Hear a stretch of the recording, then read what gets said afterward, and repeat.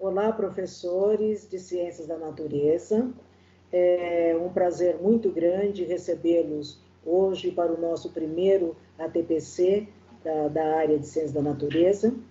É, nós passamos, eu sou a Fátima, né, diretora do Núcleo Pedagógico, e nós passamos aí por um momento no, no ano passado com a saída da, das nossas PCNPs da área de Ciências da Natureza e, e tivemos a felicidade de receber a nossa PCNP Juliana, que vocês vão gostar demais, que ela vai ah, hoje fazer com vocês a reunião de ATPC da diretoria de ensino. Então, nós sabemos que a partir da, dessa semana, ah, ah, nós vamos fazer ATPCs com a EFAP, uma outra parte da diretoria de ensino e uma outra parte da escola. Nós estamos, assim, felizes de ver o quanto é importante conversar diretamente com o professor. Tá? Isso é muito bom para todos nós e eu tenho certeza que a Juliana vai atendê-los muito bem e que vocês irão fazer um trabalho aí muito bem feito aí nas escolas, mesmo à distância, ok? Eu vou passar a palavra para Juliana, que vai dar continuidade aí no TPC da Diretoria de Ensino. Um abraço a todos e até breve. Olá, professores. Sejam bem-vindos a esse ATPC. Como a Fátima disse, eu sou a Juliana, PCNP de Biologia. Estou representando as ciências da natureza nesse ATPC, então. É, Sou recente na diretoria de ensino, entrei agora no mês de março e estamos trabalhando aí para fazer da melhor forma possível esse ATPC para vocês. Espero que vocês gostem e vamos agora para a apresentação. É isso, gestão da aprendizagem e os desafios das atividades escolares não presenciais. Nossa área, claro, ciências da natureza. A gente está vivendo agora num momento de pandemia, onde a gente está reaprendendo a trabalhar, é, pensando em estratégias que a gente pode conseguir a ensinar esses alunos, pensando nos recursos que a gente pode é, ter aí, é, pesquisando recursos para dar essas aulas. E esse é um desafio muito grande, porque nós temos que desenvolver as aprendizagens desses estudantes, as competências que são cognitivas, aquelas que são socioemocionais, para que ele se desenvolva integralmente. É importante lembrar que nem todos os nossos estudantes vão ter acesso aos meios tecnológicos, nem todos os estudantes têm o aplicativo do centro de mídias, nem todos os estudantes vão ter a possibilidade de interagir é, de forma virtual conosco. Então, mesmo para aqueles que nesse momento estão em casa, nós precisamos ter dar a eles o acesso à aprendizagem, porque não dá para a gente parar de ensinar e eles pararem de aprender por conta da pandemia. A gente tem que continuar nesse processo. E a gente sabe que na escola é muitas vezes o ambiente que esses alunos têm para que se sentem, né, para se sentirem acolhidos, para se sentirem queridos, que às vezes em casa eles não têm isso. Então, tá aqui um, um papel muito importante da gente. Para além disso, a gente tem que refletir como as ciências da natureza vão se encaixar nesse contexto, né? Acho que é, é, foi pouco falado nas apresentações que teve, mas somos nós, professores de ciências, de química, de biologia e de física, que muitas vezes damos suporte às dúvidas em relação a, aos acontecimentos naturais, né? Que, que os alunos têm e conhecem, aí, têm acesso e conhecem. Então, a pandemia, o, o caos que esse vírus está causando em todo o mundo é uma reflexão que esses alunos fazem e que muitas vezes surgem questões que serão feitas a nós. E a gente também aproveita aí esses momentos para conversar um pouquinho mais com eles, descobrir como está sendo esse momento para cada um.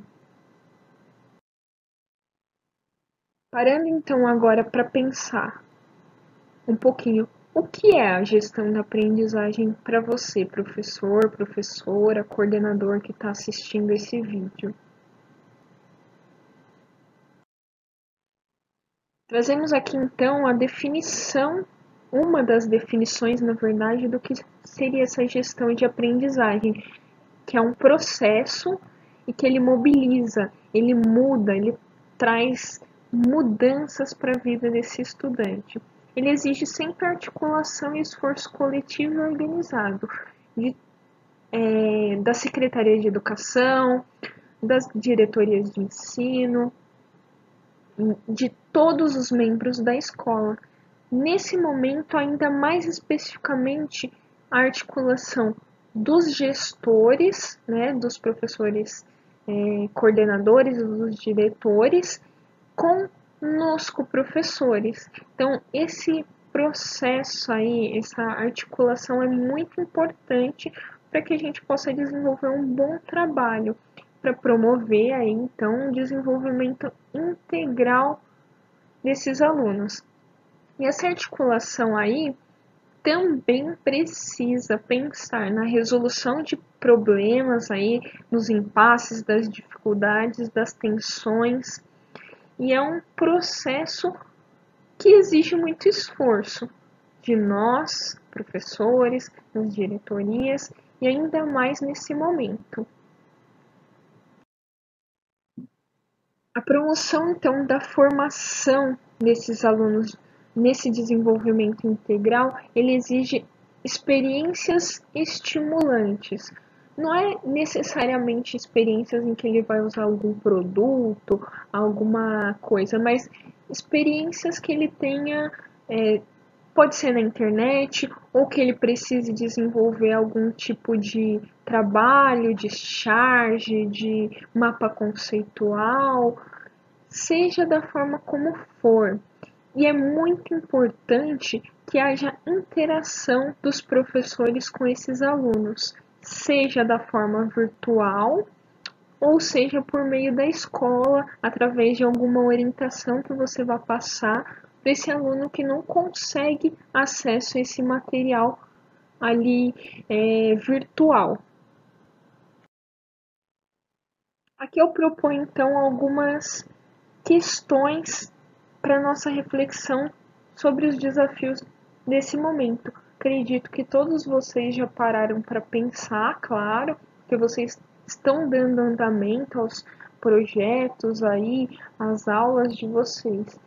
Mas eu trouxe para a gente discutir um pouco aqui e depois, inclusive, eu vou disponibilizar no Google Drive um questionário para que vocês respondam e nesse questionário eu proponho que vocês coloquem aí algumas dessas respostas que vocês acham que vão de encontro às perguntas que eu estou fazendo nesse momento, que são: como eu posso fazer meu aluno aprender fora do ambiente da sala de aula? Que recursos eu posso utilizar? Como eu posso avaliar de forma efetiva se esse aluno aprendeu? Ao longo dos próximos slides, eu vou discutir um pouco algumas fontes, algumas formas, mas claro, é critério de cada um. A gente vai muitas vezes por tentativa e erro saber o que, que é melhor para cada sala, para cada escola e é um processo que está acontecendo, né? Outro tópico que eu abordo aqui agora é a comunicação como que a linguagem, a mensagem, o que, que é cidadania e ética digital. Então, a linguagem, a gente sabe que tem várias formas de comunicação, formas que a gente pode se comunicar e, e interagir com esse aluno. A nossa linguagem, ela muitas vezes ela é muito técnica, né? Ela é muito séria e a gente precisa pensar que esse aluno estando distante da sala, ele já tem muitas dificuldades em casa, ele está constantemente com o familiar ali, então a gente tem que deixar as coisas da forma mais simples possível. A gente sabe que algumas formas de a gente se, é, se expressar pode ser muito enfática, principalmente se a gente não está ali presencial. Então, é, uma forma que eu escrevo uma mensagem como esse não que está colocado aí ao lado da imagem desse animalzinho, é, pode ser muito enfática dependendo do que eu for falar. Além, é claro, aí é, dos emotions, né, desses dessas carinhas que a gente tem no WhatsApp que podem servir para amenizar certas colocações que a gente for é, fazer. Sobre mensagem, o que eu queria abordar é assim: como que eu abordo esse aluno que está em casa agora? Será que eu estou falando com ele é, somente colocando conteúdos? Será que eu me estou me dando o trabalho de pensar assim como que ele está e que mensagem eu poderia passar. Então eu coloquei aqui uma mensagem começando com queridos alunos, prezados alunos, enfim, vai de cada um, mas eu proponho aqui que vocês reflitam um pouquinho a respeito de como vocês podem se comunicar com esses alunos de forma que eles percebam que vocês se importam aí com o que você está passando, que eles tentem compreender da melhor forma possível. Sobre cidadania e ética digital, é, nós temos aí o acesso de muitos dos nossos alunos ao centro de mídia e temos visto que muitos deles não estão tendo a maturidade para lidar ali, para conseguir interagir no chat de forma coerente, de forma responsável. Muitos deles têm xingado, têm mandado carrinhos, né, aquelas imagens. E a gente sabe que tudo isso vai atrapalhando, porque muitos deles querem realmente é, participar de uma forma positiva dessas aulas. E se a gente tem aí alunos que atrapalham, assim como atrapalhavam na sala de aula, será que a gente não pode tentar se comunicar com eles de uma forma que eles repensem um pouquinho essa forma que eles estão lidando? Então, nós trazemos aí no próximo slide um vídeo sobre cidadania e ética digital para a gente discutir um pouco. O mundo foi do analógico ao digital, do offline ao online, do SMS ao Snapchat. Foram tantas novidades em tão pouco tempo que muita gente quer pegar o bonde andando e ainda sentar na janela, ou seja, não consegue assimilar as inovações de forma correta e acaba saindo por aí fazendo besteira. Falta a tal da cidadania digital, que nada mais é do que o uso da tecnologia de forma responsável. Por exemplo, quem posta, curte ou compartilha conteúdos falsos ou que difamam alguém precisa rever seus conceitos. Tá faltando educação digital aí. Uma ótima dica para não dar bola fora é se perguntar antes de postar. Isso é verdade? Vai machucar alguém? É legal? É realmente necessário? Trata-se de algo positivo? É, é pra gente refletir mesmo. Um assunto super atual e que Conexão trata agora. Você, é claro, é nosso convidado. Chega mais! Nesse link aí nós temos então disponível esse vídeo que a gente acabou de ver e ele serve para que nós e os alunos paremos um pouquinho para refletir como que está sendo a interação com o outro, principalmente nas plataformas digitais. Não é porque a gente não está cara a cara que a gente pode dizer qualquer coisa, né, pessoal? Então, o aplicativo do centro de mídias, a gente está vendo muita dessa interação inadequada. Eu trouxe aqui algumas das competências né, socioemocionais para se trabalhar e o que a gente pode linkar nesse momento com essas competências. Então, a autogestão. O aluno está ali na casa dele, precisando gerir a forma como ele vai ter o tempo para obter esse conhecimento formal da escola. Ele vai precisar ter um espaço próprio, ele vai precisar se distanciar às vezes dos familiares, dos irmãos, mas novamente, nem todos têm essa condição, né? Dentro de uma casa, muitas vezes você não tem esse espaço próprio que você possa fazer uso. Então, às vezes, é, vai ser preciso desse aluno uma habilidade de saber lidar com essa situação, de se autogerir dentro desse ambiente mesmo que desfavorável para essa aprendizagem. Ele vai precisar de engajamento. Então, aqueles que estão em casa vão se engajar ali com os familiares, com os mais próximos, enquanto que aqueles que têm acesso digital, eles vão interagir e vão conversando uns com os outros. A gente vê muito que eles conseguem fazer isso muito bem é, quando tem uma atividade, alguma coisa que eles precisem fazer, eles conseguem interagir, enviar uns para os outros, é, perguntar dentro do grupo da sala se um ou outro lembra dessa atividade, se engajando assim.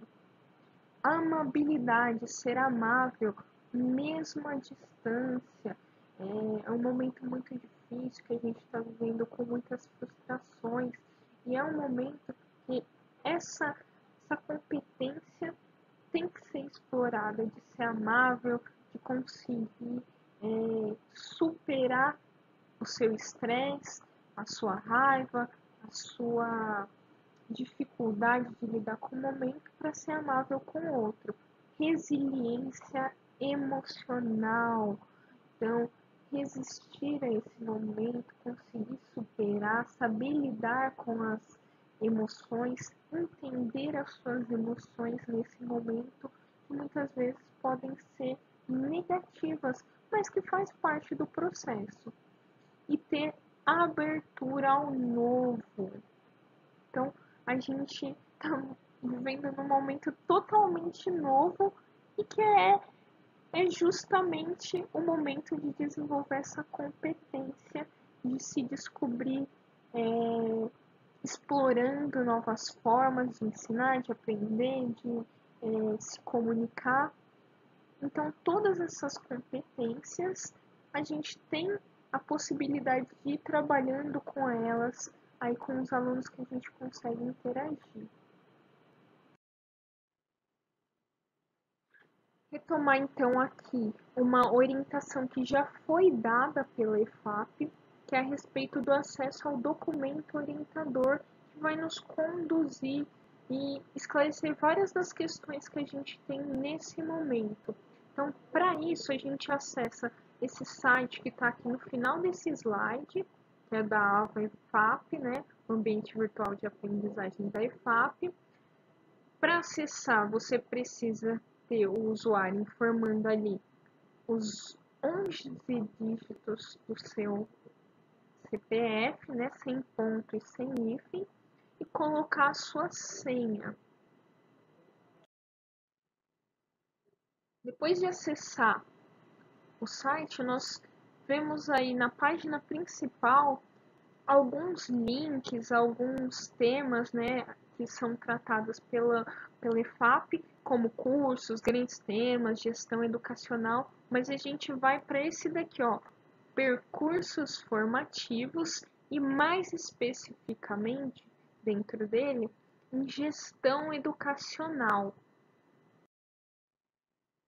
Em gestão educacional, nós vamos ter aí então o replanejamento 2020 para acessar. É aí que a gente vai ter o acesso.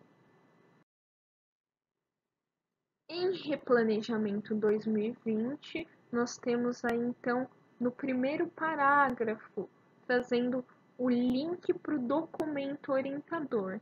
e clicando nele nós somos direcionados. Dentro desse documento orientador, nós encontramos é, as premissas para esse período, esse período né, de atividades não presenciais, como vai funcionar. Então, dentro desse como vai ser o funcionamento, nós temos o calendário escolar, né, falando um pouco, a realização das atividades não presenciais, o centro de mídias, as plataformas digitais, os materiais impressos e os livros, a comprovação das atividades não presenciais, o controle da carga horária tanto de professores quanto de estudantes, a avaliação escolar, como vai ser a formação, o atendimento especializado, as modalidades de ensino, vai trabalhar um pouquinho aí o EJA, educação no campo, educação em privação de liberdade, vai falar também sobre o Centro de Línguas, as PEIs vão ser tratadas nesse documento. Aí vai falar um pouquinho também dos acompanhamentos que a gente tem que ter, tem que ser ativos em busca da aprendizagem desses estudantes, do projeto de acolhimento, atribuição dos profissionais durante esse período e vai falar ainda, é, vai ter ainda alguns materiais de apoio. Vou abordar agora um pouquinho sobre as habilidades que foram elencadas aí pela SEDUC para ser desenvolvidas a partir do centro de mídias. Então, eles selecionaram algumas das habilidades que esses estudantes precisavam ter é, para dar prosseguimento aos estudos e foi colocado dessa forma dentro do documento e eles têm acesso às aulas a respeito dessas habilidades e conteúdos dentro do centro de mídias. Essas habilidades vão estar especificamente onde que eu encontro elas. Dentro do documento orientador, na página 4, eu tenho um link que está disponível aí no terceiro tópico, no finalzinho ali disponíveis nesse link. É só clicar que vai ser direcionado para uma nova página. Nessa página que se abre, então, nós temos aí um direcionamento direto para a língua portuguesa. Claro que nós, sendo professores de ciências da natureza, a gente tem que encontrar nossa matéria ali, nosso conteúdo, nossa disciplina. Para isso, a gente tem que olhar para a base dessa ferramenta aí. Nós temos ali, então, língua portuguesa, matemática, história, geografia, sociologia, filosofia, educação física, arte, inglês e ciências. Então, dentro do conteúdo de ciências, aí nós vamos ter as habilidades que foram elencadas pela SEDUC. Como eles selecionaram? Para o ensino fundamental, cada ano série, né, teve quatro habilidades elencadas, de acordo com as que estavam aí no currículo desse primeiro bimestre enquanto que para o ensino médio, química, biologia e física foram elencadas duas habilidades para cada um, tá? Lembrando, gente, que o currículo do novo ensino médio ele está em fase de consulta pública, então está é, tendo uma consulta pública, é interessante que todos nós participemos para dar as nossas opiniões de como seria melhor é, que fosse desenvolvidos os conteúdos, as habilidades no novo ensino médio, que tem a pretensão de se iniciar já no ano que vem, com o primeiro ano do ensino médio. Tá bom? Retomando aqui é, essas habilidades, nós temos aí, primeiro, na primeira coluna, o ano a sério, então desde o primeiro ano, aqui eu tenho do ensino fundamental, quando eu chego na, na linha N21, o quinto ano do ensino fundamental e continua mais para baixo, claro, vai até o nono ano do ensino do ensino fundamental, perdão. É, unidades temáticas, então a gente tem aí vida, evolução, matéria, é, terra e universo, matéria e energia. E aí é importante que a gente saiba, porque imagino eu que a maioria dos professores que me acompanham seja de ensino fundamental 2, que todas as habilidades elencadas nesse primeiro bimestre se referem à matéria e energia, tá? Nós temos o descritor, que é a habilidade em si. Vou pegar aqui como exemplo, no primeiro ano é, do ensino fundamental. Localizar, nomear e representar as partes do corpo humano por meio de desenhos, aplicativos e softwares. E aí a gente tem o conteúdo a que essa habilidade se refere. No caso, corpo humano. Todas as habilidades vão ser elencadas é, dessa forma nesse documento. É necessário trabalhar somente com essas habilidades? Não. A IFAP deixou bem claro que o professor tem aí é, essa autonomia para decidir o que, que esse aluno, o que cada estudante e cada turma nossa precisa desenvolver. Claro que essas daqui são as habilidades básicas para dar prosseguimento aos estudos que eles precisam ter. Então é importante que mesmo que você aí já tenha trabalhado essas habilidades, você retome um pouquinho, veja se eles estão acompanhando pelo centro de mídia. Claro, aqueles que têm acesso a ela. Ferramentas disponíveis. É, coloquei aqui na Secretaria Escolar Digital para que a gente possa acessar certas ferramentas que nós já temos aí acesso e que muitas vezes a gente não sabe.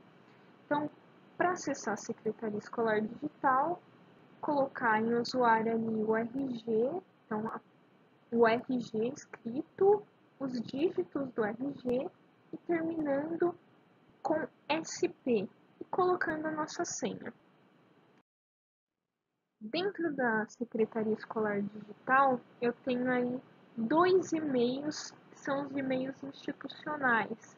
Um que é o Microsoft e o outro que é via Google. E os dois, a partir dessas duas plataformas, nós temos várias, vários acessos interessantes. Então, entrando aí no seu e-mail Microsoft, lembrando que para entrar nesse e-mail, você vai pegar lá e a senha é a mesma da sua sede, tá?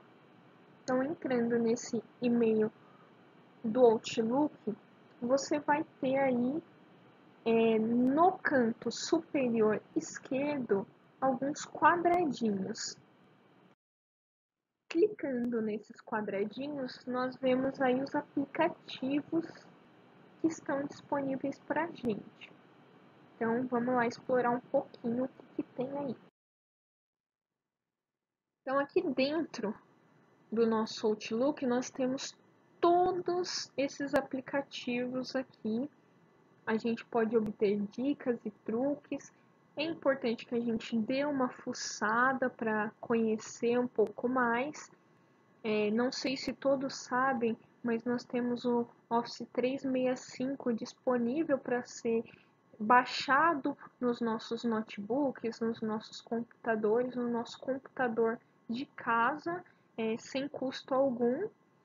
E que é uma coisa muito interessante, que nem todos aí sabiam. Nós temos também o OneDrive, que é o armazenamento na nuvem, uma forma de você salvar suas atividades sem ocupar espaço do seu computador. É, nós temos uma outra ferramenta que tem sido muito utilizada, incentivada né, a ser utilizada, é o Teams. É uma ferramenta de videoconferência é, claro que a gente tem que ter algumas observações. Eu acho que para salas menores, para quantidades menores de pessoa, ele é muito eficiente, né? A forma de se trabalhar com ele é muito eficiente. É, dá para você pedir para as pessoas é, desligarem a câmera, desligarem o áudio e falar um por vez, um ou outro pedir a palavra. Dá para trabalhar bastante coisa. Claro que com os nossos estudantes a gente precisa é, conversar bastante com eles, né? Mostrar para eles antes de eles entrarem, talvez, como que pode ser trabalhado com essa ferramenta. Então, essas entre essas todas aqui ferramentas que eu resolvi destacar aqui para vocês. Dentro do Google, nós também temos várias ferramentas disponíveis. Então, entrando no seu e-mail Google institucional, ali do lado de G Suite, vocês vão ver é, uma série de quadradinhos à nossa direita agora. Lá nós temos então Gmail, o Google Drive, o Google Sala de Aula, os documentos, planilhas, apresentações, agenda, Google Meet, Google+, o site que dá para ser desenvolvido a partir do, do seu e-mail Google, os contatos que você pode salvar. Nós temos ainda aí grupos, o YouTube, que dá para você criar um canal do YouTube através do seu e-mail Google, Google Maps, notícias, esse Google ADS, fotos, o tradutor, o Hangouts, formulário, Keep, Cloud, o Google Earth e coleções aí. Alguns destaques que eu gostaria de fazer aí para vocês é, por exemplo, o do Google é, Drive, que também é uma forma de você salvar é, os seus arquivos, as suas aulas é, na nuvem. E o Google Formulários. Então, se você às vezes pensa em desenvolver uma atividade, uma atividade que seja online, você consegue fazer questionários, perguntas abertas ou fechadas, consegue fazer perguntas com alternativas através do Google Formulários. E você pode ainda, se são respostas que já podem ser disponibilizadas, é, colocar quase como uma correção, seria automática. E algumas questões você mesmo fazer análise. Dá para pedir que os alunos coloquem o e-mail deles, é, dá para trabalhar muita coisa aí dentro do Google Formulários e eles fazem esse envio de forma bem simples. Você vai criar um link, por exemplo, disponibilizar para os estudantes, eles acessam, fazem é, essa atividade aí, respondem as questões que você propôs e depois já fecham. É muito interessante. Eu oriento aí que vocês entrem para conhecer. Gente, ainda nesse Google Formulários, eu criei um questionário para que vocês respondam. Não são muitas questões, são poucas questões. É, eu gostaria que vocês opinassem lá do que vocês acharam dessa formação, é, de como ela foi feita, se vocês acham que foi legal ter feito aqui através dessa gravação do PowerPoint e subido para o YouTube. Se vocês têm alguma coisa que vocês acham interessante que a gente trabalhe nas próximas semanas, é, tem espaço para vocês discutirem isso lá, é, fazerem perguntas também. Aí, no caso das perguntas, eu peço a gentileza que vocês coloquem o e-mail de vocês para que eu possa estar tá respondendo assim que possível. E eu agradeço muito você que chegou até o final dessa apresentação. Peço desculpa pelos erros, pelas pausas longas ao longo da apresentação, porque afinal essa também é a minha primeira experiência aqui que eu estou tendo com essa ferramenta. Espero que ela seja funcional e que nos ajude nesse momento. Agradeço Agradeço muito, aqui estão as minhas referências.